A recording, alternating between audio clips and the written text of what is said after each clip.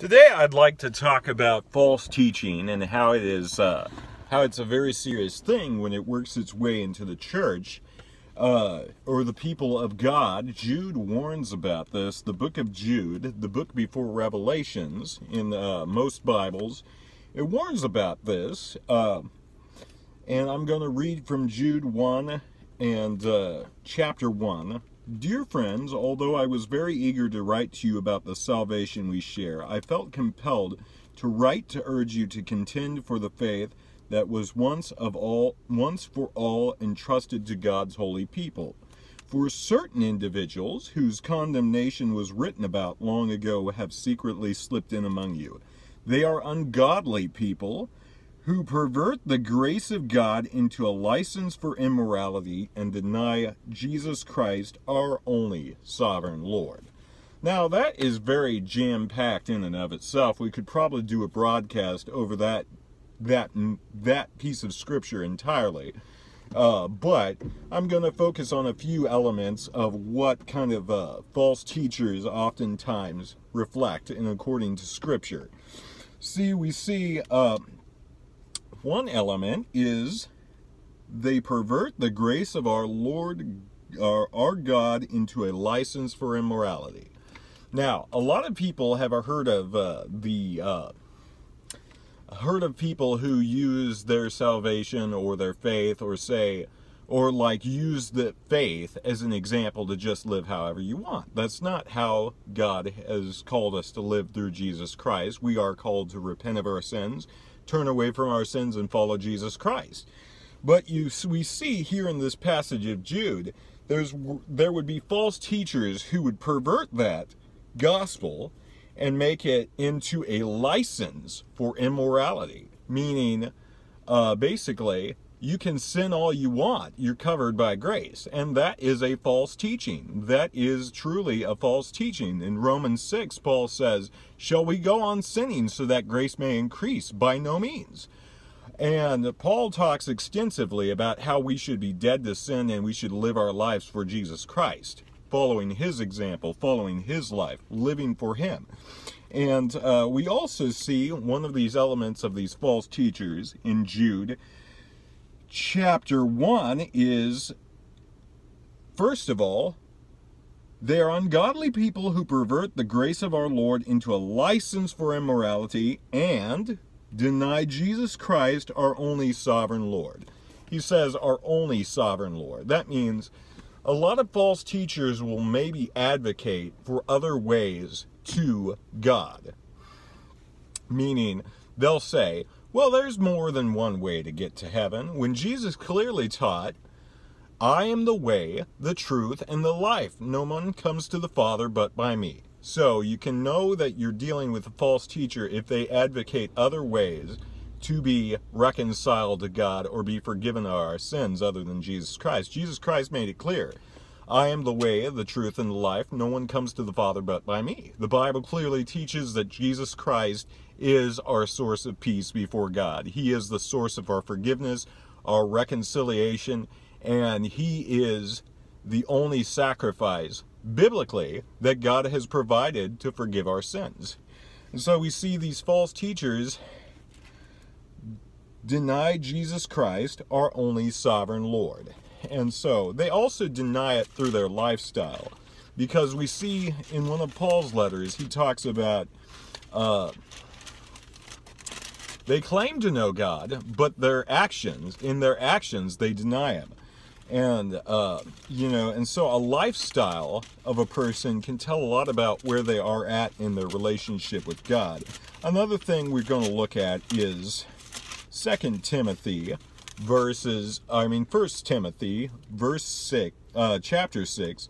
These are the things you are to teach and insist on. If anyone teaches otherwise they, and does not agree with the sound instructions of the Lord Jesus Christ and godly teaching, they are conceited and understand nothing. They have an unhealthy interest in controversies and quarrels about words that result in envy and strife and malicious talk, evil suspicions, and constant frictions between people of corrupt minds, who have been robbed of the truth, who think that godliness is a means for financial gain. nowhere in Scripture can we support the idea that that if you serve and follow Christ, you're going to strike it wealthy.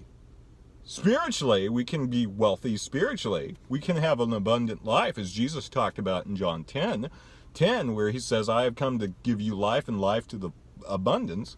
But that does not mean riches in the monetary sense. God never promised any of us that we would get rich following Jesus Christ. And one element of a false teacher is they teach that, you know, serving God means wealth, health, and prosperity. And what I mean by that is we ain't we are not always going to have health. We aren't always we won't we aren't guaranteed wealth and we're not guaranteed really prosperous prosperity either. We will go through hard times as Christians. We will go through trials. We will go through tribulations. Jesus even warned.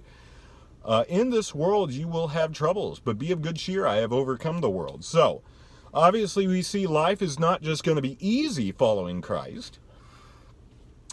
It's not always going to be seemingly prosperous. It's not always going to feel awesome doing the right thing, it's not always going to bring an immediate reward. We will have prosperity in heaven, we will have eternal life, we will have eternal happiness to look forward to. But to to automatically say we will get that kind of stuff now in this life, that's false teaching. I mean, there is benefit to following Jesus Christ. We can have an overflow of joy. We can have peace. And there will be times where God blesses us in ways we did not expect. Okay, that's okay. But but to suggest that following Christ means we'll strike it rich, that is a dangerous teaching. Because, you know, uh, it says even in the Proverbs, better a poor man whose walk is blameless than a rich man whose ways are perverse. And so we obviously see there were people, but in the Bible, in the scripture, who were poor, yet they were blameless. They honored God and lived for Him, yet they were poor. And so our financial status has nothing, nothing, and I'll repeat, nothing to do with where we are at in our relationship with God.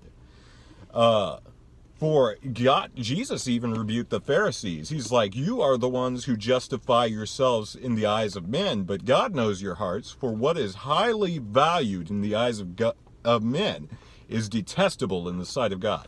So the Pharisees thought they were blessed of God because they were rich and wealthy. But Jesus knew that they had a heart problem. Jesus knew they were sinners, even though they pretended to be self righteous. And so, what is truly more most important is where we stand with our relationship with God and if we're in close relationship with him then we are truly rich. Not in the monetary sense per se but we are truly rich in the spiritual sense. We see in revelations where God rebukes the church of Laodicea he says I counsel you to buy gold from me refined by the fire meaning true spiritual riches. And so Laodicea was a wealthy, prosperous city. And there was a church there, the Laodicean church, and they thought that they were. Let's just turn to that real quick. Let's read it from the text. Let's just make sure we have a clear understanding of what the scripture actually says because that is very important. I don't want to quote, quote things from just my memory, but I want to make sure I'm quoting it correctly. So we go to Revelations chapter 2. I believe it is. Might be chapter 3. Let's just take a look see. Okay. Let's just take a look. You got the Church of Ephesus, the Church of Smyrna, the Church of Pergamum, the Church of Thyatira. We got the Church of Sardis, Philadelphia. Okay, last Laodicea. To the angel in the church of Laodicea, write, These are the words of the Amen, the Amen, the faithful and true witness, the ruler of God's creation. I know your deeds, that you are neither cold nor hot. I wish you were one or the other. So because you are lukewarm, neither hot nor cold, I am about to spit you out of my mouth. You say, I am rich, I have acquired wealth, and I do not need a thing. but you do not realize that you are wretched, pitiful, poor, blind, and naked. I counsel you to buy from me gold refined in the fire so you can become rich, and white clothes to wear so that you can cover your shameful nakedness, and salve to put on your eyes so you can see. Those who I love I rebuke and discipline.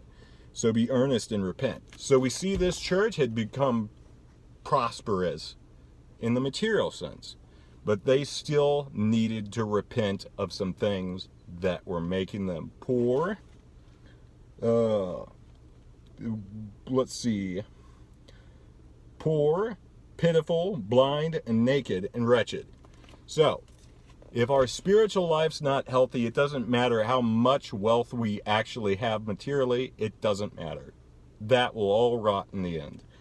And so we see actually in the church of Smyrna, we have a different scenario. These were poor Christians, poor believers, but they were exceedingly commended by God. To the angel in the church of Smyrna, write, These are the words of him who is the first and the last, who died and is came to life again. I know your afflictions. I know about the slander of those who say they are Jews and are not, but are a synagogue of Satan. Do not be afraid of what you are about to suffer. I tell you, the devil will put some of you in prison and test you, and you will suffer persecution for 10 days. Be faithful even to the point of death, and I will give you you life as a victor's crown. Whoever has ears, let them hear what the Spirit says to the churches. To the one who is victorious, the one who is victorious will not be hurt by the second death. Okay, and then we have the church of Philadelphia, also a church that wasn't rich and affluential per se, but they had become rich in the things of God. So let's take a look. To the angel in the church of Philadelphia, write, These are the words of him who is holy and true, who holds the key of David. What he opens, no one can shut, and what he shuts, no one can open. I know your deeds. See, I have placed before you an open door that no one can shut. I know you have little strength, yet you have kept my word and not denied my name. I will make those who are of a synagogue of Satan, who claim to be Jews, though they are not, but liars, I will make them come and fall down at your feet and acknowledge that I have loved you. Since you have kept my command, endured patiently, I will keep you from the hour of trial that is going to come on the whole world to test the inhabitants of the earth. And so we see we see it doesn't um, always mean we are close to God. If we're if we're experiencing happy times in life, prosperous times in life, we should thank God for that. But we shouldn't automatically assume if we're going through hard trials and crises and persecutions and afflictions, we should not determine by that that we are far away from God. Actually, we may be walking closer to God. And that may be evidence, persecutions are often evidence that we're doing the Christian life correctly. Because if we're just passively going through and we're not really making much of an effort, no one is going to bother us, really. You know, uh, the only time people get bothered in the Christian life is when they're actually really passionately standing for it. You know, but if someone's just quiet about their faith and just sails through, you know, nobody's going to know that. You know, so so basically it's a false teaching to suggest that you know and this was a common belief in jesus's time too. The people thought that if you were wealthy god's blessing was on your life but if you were poor god's curse was on your life and that's just not true. We see that throughout scripture that that's just not true. There were godly wealthy people in the bible of course we see that but then there were also godly poor people and so what we do with what we have and how we serve the Lord with what we got is what truly matters. How close we are to Him from a spiritual standpoint is what truly matters. And if we have yet to, if you have, if whoever's listening, if you have yet to receive Jesus Christ as Lord and Savior, you still need to lay hold of true riches right there, for He is the source of life and fulfillment and true abundance in life. It's not going to be easy following Christ, but it's certainly worth it every time. God bless.